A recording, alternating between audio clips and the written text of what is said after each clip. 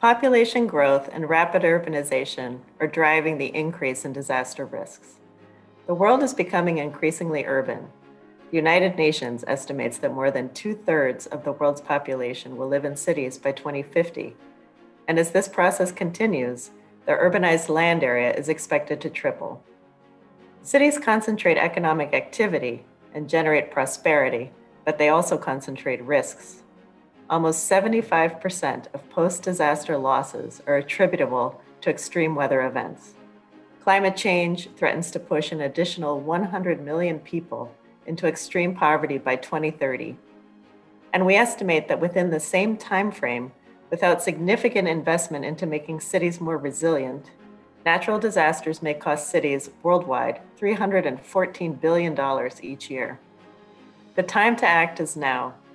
Cities are adaptive systems and can promote resilient growth in an inclusive manner if institutions and policies are well coordinated and if financing is available. Mainstreaming resilience into urban development planning can reverse the current trend of rising disaster impacts. If cities act decisively, they can save lives and assets. However, many local governments lack the tools, expertise, financing, and instruments to factor the potential impacts of disasters into their investment decisions.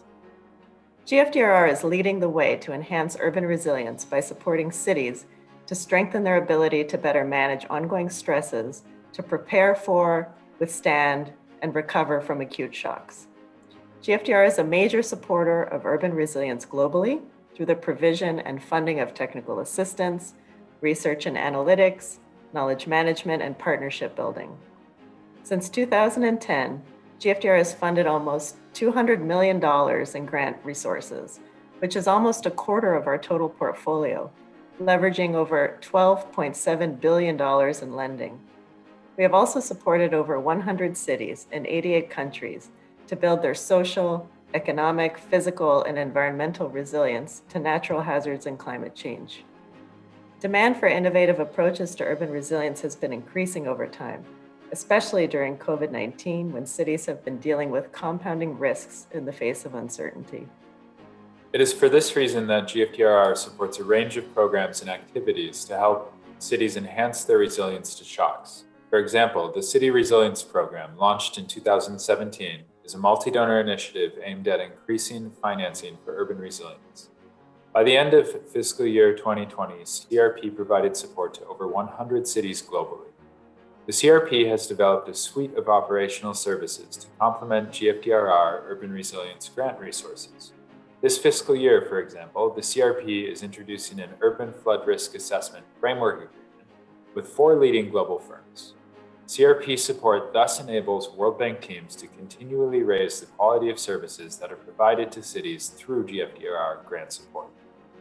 An example of CRP's work can be found in Moldova, where the CRP team has been working with the Transport Global Practice to find practical solutions for the dual use of parking infrastructure to both reduce flooding risk and mobilize parking revenue.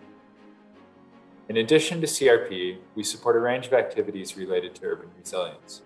Open Cities Africa works across 11 cities to engage local government, civil society, and the private sector to develop the information infrastructure necessary to meet 21st century urban resilience challenges.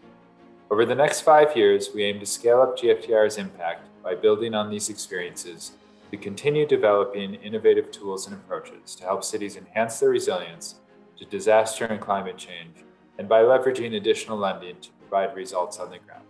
Thank you so much for your attention.